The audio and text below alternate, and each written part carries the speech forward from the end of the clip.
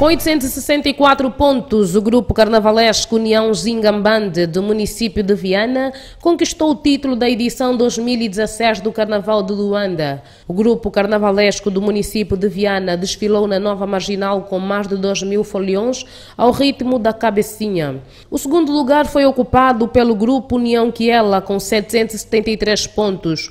O União 10 de dezembro ficou em terceiro com 711. Em quarto lugar ficou União Mundo da Ilha com 700 pontos e na quinta posição União Jovens da Cacimba com 670. Vencedor do Carnaval em 2013, o grupo foi fundado a 22 de janeiro de 1979 e é comandado por Antônio Domingos.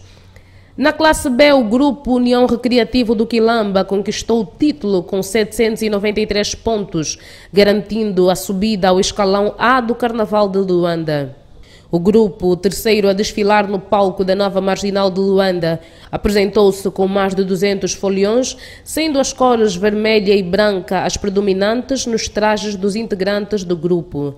Oriundo do distrito urbano do Rangel, o grupo que se apresentou pela primeira vez no Carnaval de Luanda entra para a história do intrudo da capital angolana. A União Operário Caboclo Mel, do distrito urbano do Sambizanga, com 726 pontos, ocupou a segunda posição, regressando desta forma à elite do Carnaval de Luanda.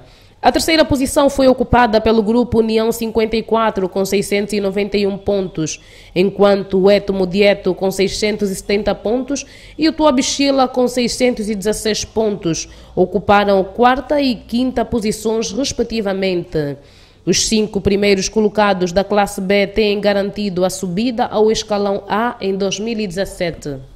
Na classe infantil, o grupo carnavalesco Caçules Viveiros Ingambande venceu o intrudo de Luanda com 875 pontos. O grupo do município do Icolibengo desfilou na nova marginal ao ritmo da cabecinha. O segundo lugar foi ocupado pelo grupo 10 de dezembro, com 824 pontos. Os jovens da Cabecinha, com 772 pontos, ficou em terceiro.